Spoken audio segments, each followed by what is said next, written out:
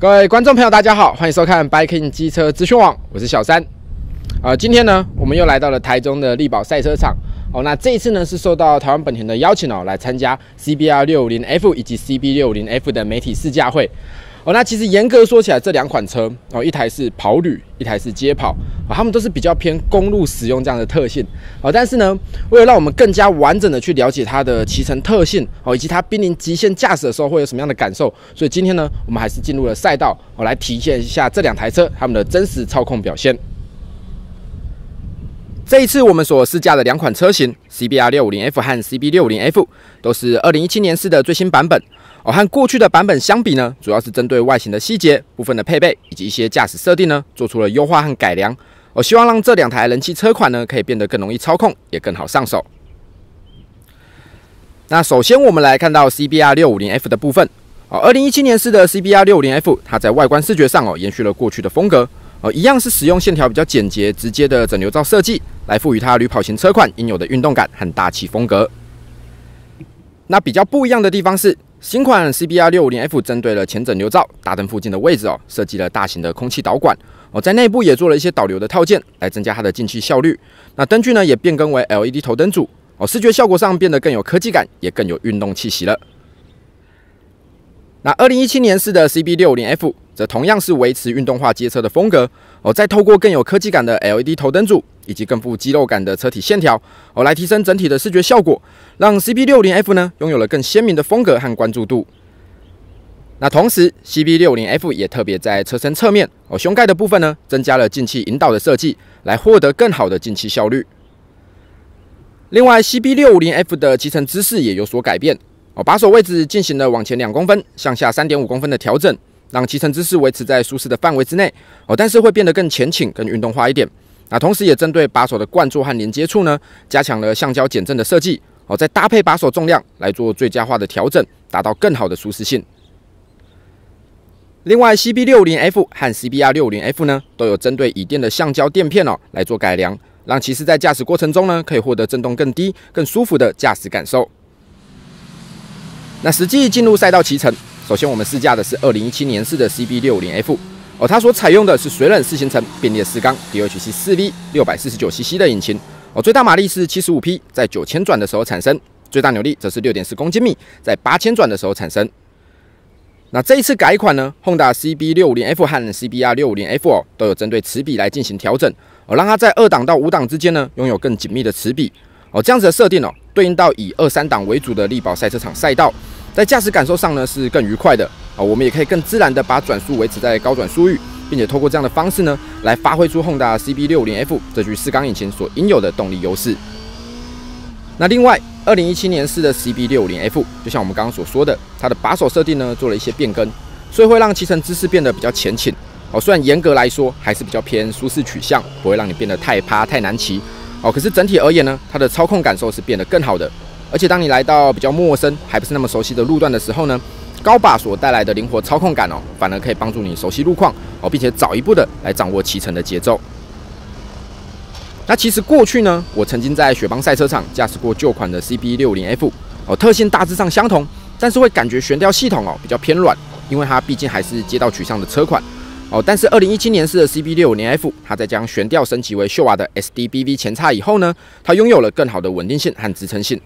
所以当我在重刹减速哦，弯中回旋。还有在准备脱离弯道要开启油门加速的时候呢，CB 六零 F 都可以给我更好的悬吊回馈感哦。那这一点来说，我觉得是很棒的。那如果对应到一般的山路呢，我想它是可以让你更精准的去控制路线哦，去享受挑战弯道的乐趣哦。这个部分呢，我自己是蛮喜欢的。那当然，身为街车形式的 CB 六零 F，它在倾角设定上呢还是比较受限的哦。虽然说我认为在一般的山路上骑乘，这不会有太大的问题。哦，在这一次赛道试驾上呢，我也还玩得蛮开心的。哦，可是如果跟重视运动性能的仿赛车或是跑车相比哦，还是有着明显的差距。哦，赛车场呢，并不会是它最擅长的领域。但是客观来说呢，它还是可以带给你相当程度的乐趣。哦，尤其如果你不是常常跑赛道来练习进阶驾驶技巧的骑士，哦，那 CB 六零 F 呢，其实是更平易近人，也更容易去体验操控乐趣的车款。那么在二零一七年式的 CBR 六五零 F 的部分。哦，一样是采用水冷四行程并列四缸的 DHC 四 V 六百四十九 CC 的引擎。那最大马力呢是七十五匹，在九千转的时候产生；最大扭力则是六点一公斤米，在八千五百转的时候产生。那虽然说动力本体的部分大致上是相同的哦，但是因为它的骑乘姿势呢是更趴低、更战斗的，所以当我们在赛道上行驶的时候呢，你会发现哦，你可以更快速的去做出应有的操控反应哦，包括直线上我们要趴低身体、降低风阻的时候，又或者是进弯之前我们要刹车哦，身体跟车辆动态回馈之间的互动，它都可以让骑士呢觉得更容易上手哦。整体而言，它也更适用于激烈的操控。那当然哦，如果单就车款定位和整体设定而言哦。CBR 六五零 F 虽然比 CB 六五零 F 呢更适用于激烈超驾，可是它终究还是一台旅跑型车款。所以如果你要用更严格的标准哦，拿它来跟一些仿赛型的车款相比，你会发现呢，它还是有一些不足的地方哦，包括倾角啦，包括骑乘姿势的设定，都是相对比较温和、比较偏街道取向的。但是这样的特性呢，如果你把它换个角度思考，你会发现 CBR 六五零 F 其实是更好上手的哦，它不会像仿赛车、跑车那样哦，因为姿势过于战斗。所以在长时间骑乘之下呢，比较容易造成疲劳哦。那也不会因为动力带过于集中，让你感觉哦，随时都要保持在高度专注的紧绷状态下来进行骑乘哦。CBR 六五零 F 它所拥有的是可以让你自由切换的宽容度哦，你可以放轻松一点去享受中低转速域所具备的低震动、舒适化的驾驶感受。